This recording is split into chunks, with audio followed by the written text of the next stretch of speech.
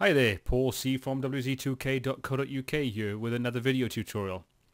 What we're going to take a look at in this video is we're going to see how we can create a very edgy, uh, sort of low-key shot from a studio environment. So what I've got is the singer from a, a, local band that we worked with and did a studio shoot a little while back. And we're going to use that, uh, that image as the basis for this tutorial. We're going to go through quite a few different techniques and tools to create the effect that I want. But at the end of it, we're going to end up with a very, very low-key, high-contrast image that has a real sort of metal kind of feel to it. So let's crack on. First thing I want to do is just crop this image down a little bit because at the moment it's a little off balance. So what I'm going to do is just choose the crop tool, rebalance that, and what I'm kind of looking to do is make sure that the space on the sort of the left and the right hand side of, uh, of his arms is pretty much equal. That should uh, should do for me. I'm going to also bring it down ever so slightly so we get a bit more headroom above the shot. And click done once we're, we're happy with that.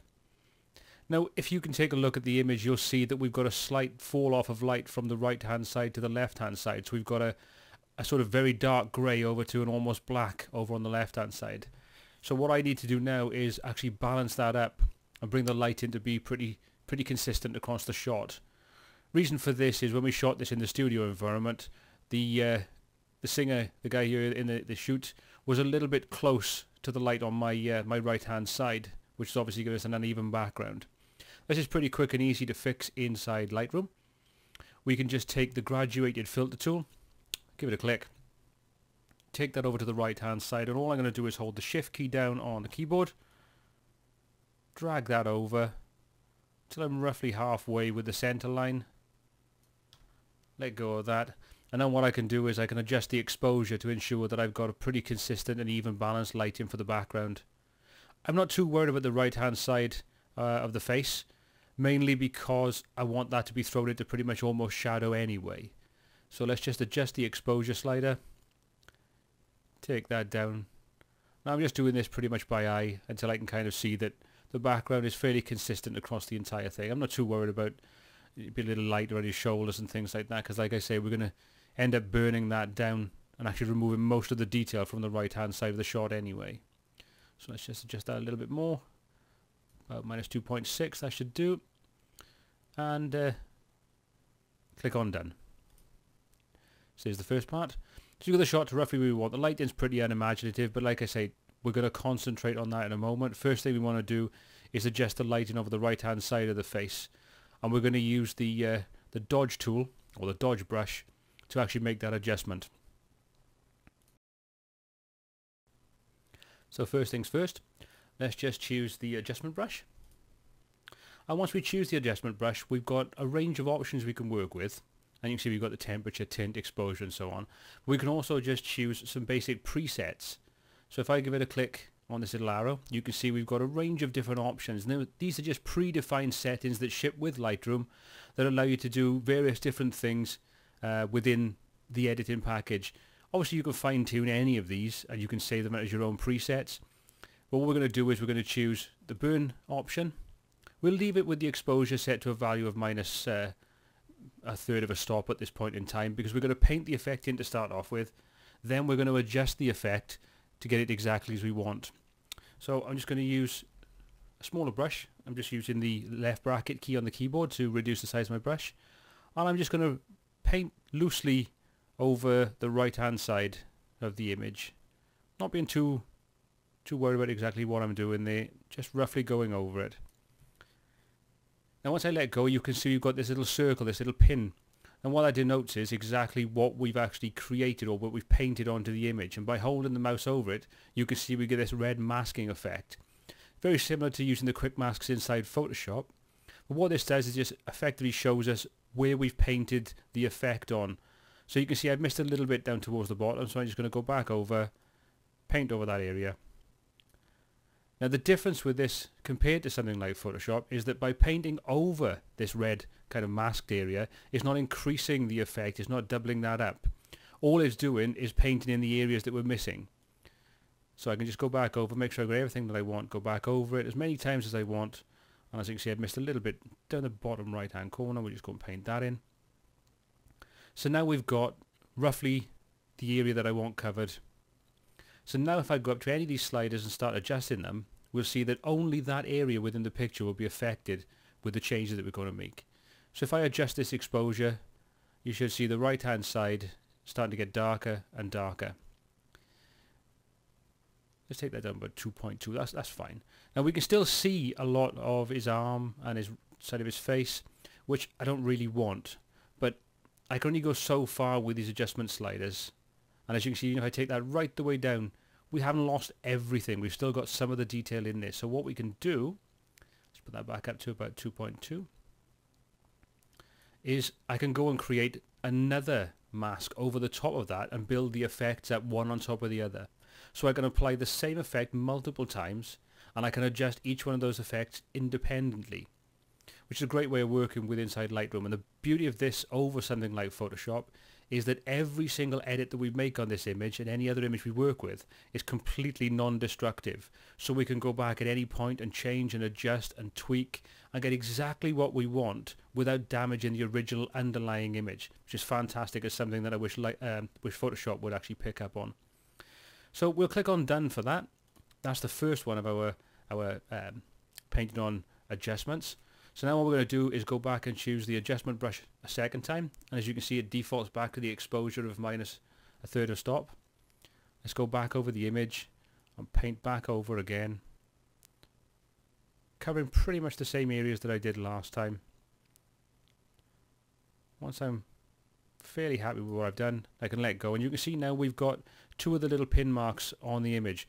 One is a, a white halo, the other one is a solid white. The solid white was the previous one we did. That's not the currently active one, whereas the one with the, the black dot in the center is the currently active uh, brush that we're working with. So you can see I missed quite a big chunk down the middle there, so I'm just going to go back down, quickly paint that back in, go back over and just double check. Stickler for making sure everything's right. Okay, so we've got what we want. So now if I adjust that, we're adjusting the second adjustment that we've applied to it. And if I just go back over and paint a little bit more of the areas that I'm not happy with, yep, that should do for me. We click on done again, and that's applied the, the second effect on there for us. So we've done two lots of adjustment layers where we've adjusted, or adjustment, uh, using the adjustment brush, where we've adjusted the actual exposure, but only on that right hand side, and each one is non-destructive and has its own masking area that is applying it to this particular image. So the next stage is we're going to desaturate this image, we're going to take it to black and white, we're going to start adjusting clarity, contrast and so on, and apply a few other effects to the image. What I'm going to do now is I'm just going to zoom in so we can see what we're working with a little bit closer. Now, as I said, this was shot in a studio environment, so we've got a pretty sharp image to start off with, but we're going to really emphasize quite a lot of the features and the skin and give it a really harsh low key effect with a real high contrast. So let's just switch this over to black and white to start off with. And as you see, it's a pretty flat black and white, which is what you'll generally get when you just switch over from the color option to the black and white option inside Lightroom. But it's a good starting point. Next thing we want to do is if we start adjusting the clarity, you will find we'll increase the contrast considerably and it'll pull out some serious detail all over his face. So we'll find all the, the pores will start to stand out. Any sort of little blemishes on the skin will really stand out. So let's start adjusting that clarity. Let's take it quite extreme. Out to about 80. And as you can see, we've got a real extreme contrast now, bringing out all the detail. This works fantastically when, well with men, especially if they've got beards and things like that. It really does pump out the, the detail and the contrast and sharpens the image up considerably. Obviously, if you're shooting women, it doesn't work quite so well because obviously any blemishes will be emphasized considerably. So you'll just tend to find that if you shoot in women, you'll normally take the clarity down to an opposite. So if we just take that down to a minus figure, you'll see what it does is it starts adding a sort of a soft focus kind of effect to it and softens all the skin off, which is a good way of doing the opposite to what we're trying to do with this image, which is soften and hide blemishes and wrinkles and things like that. Okay, let's put that back out to where we had it before, which is about plus 80 giving us that real harsh, strong contrast.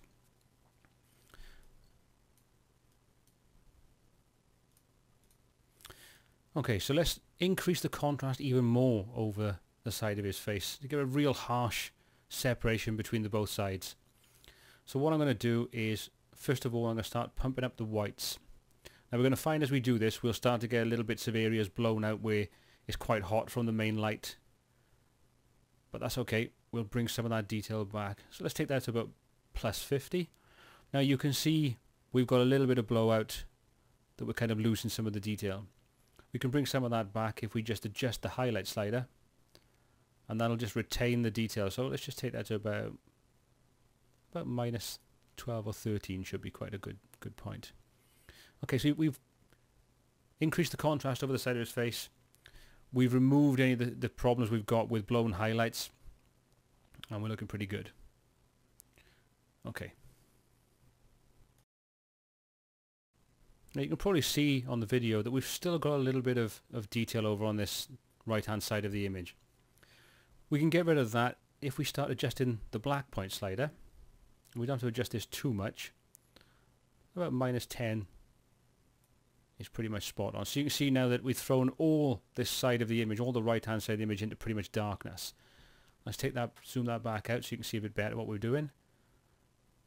So we've got a, a real high contrast image and we've blown the entire side right the way to blackness.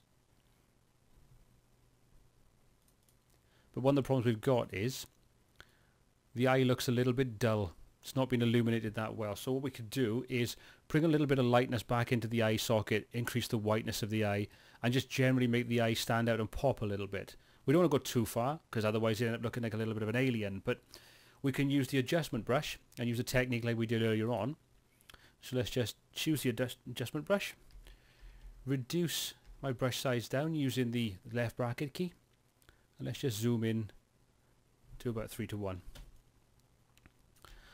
Okay. All we're going to do is set the exposure to a plus value this time and start painting over the eye.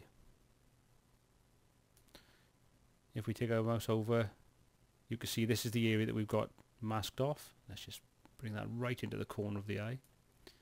So now if we start adjusting the exposure, you can see that starts to lighten the eye sockets. Let's just go back out so we can see what that effect is going to have as we make the adjustments. Like I say, we don't want to go too far, but 1.2, 1.3 looks pretty good. Let's just close that down. So let's undo that. There's the before. There's the after. So you can see the eye starts to pop out a little bit. Gives it a bit of a unnerving look to it. Okay, we're almost there. Let's just take that back out so we can see the entire image. Looking pretty good. Okay, what we're going to do now is we're just going to quickly use another effect on the image just to give it a, a slight vignette. Now that's not really going to affect anything that we can see over the dark, dark areas, but it will bring the detail in or bring the shadows in around the lower part of the body, which I don't really want to stand out too much. So we click on the effects panel, and we'll just scroll down a little bit. What we can do is we can set the amount of vignetting that we want to work with. So if we set a minus value, we'll introduce dark edges to the image. If we increase that to a plus value, we start to create a lightened corner. So let's just bring that down and you should notice now down on the bottom left hand side of the image that'll start to darken that down and we'll lose some of the detail just to give it a, a sort of real fall off of shadow which is exactly what I want. Okay, almost there. Let's just zoom back in one to one.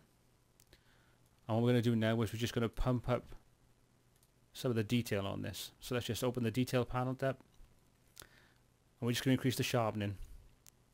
We're going to find, because we've got such high clarity and such extreme contrast on the face that when we start making sharpening adjustments, it's really going to bring out the detail considerably. So let's just take this up probably more than I normally would. I take it to about 75. So we go back. There's the before. There's the after. So it gives it a real sharp, gritty look to the image. There's a couple of little blemishes that I'm not too happy with on the skin, so I'm just going to quickly zoom in even closer again and we'll just go in and choose the spot removal tool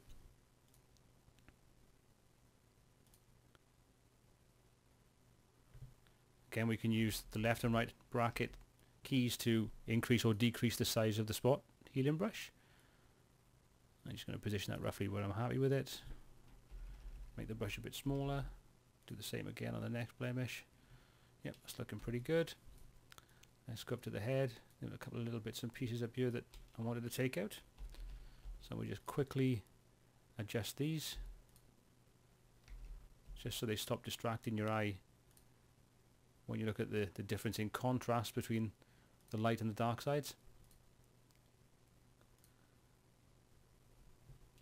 Okay, that looks pretty good. Like I said, I could spend a lot more time. I probably would if I was doing this for the, uh, the actual client themselves, but this is just a quick tutorial to sort of take you through the different techniques that we use. Okay, we're happy with that. Click on Done. And that's pretty much it. Let's just zoom back out. As you can see, we've got a very, very low contrast image that's got a real gritty feel to it that works fantastically well for doing things like band promo shots for bands that are sort of metal bands, extreme metal bands, you know, that kind of thing. Well, I hope you found this tutorial useful. I hope you can put it to use in your own photography sessions. Until next time, we'd love to see you over at the wz2k.co.uk forums and website. Leave some feedback. Let us know what you think of the, the tutorial. And if you've got ideas for tutorials, we'd love to hear from you. And if we think they're good ideas, we'll happily put some tutorials together for you guys. Until next time, take care. I've been Paul C for WZ2K. Cheers.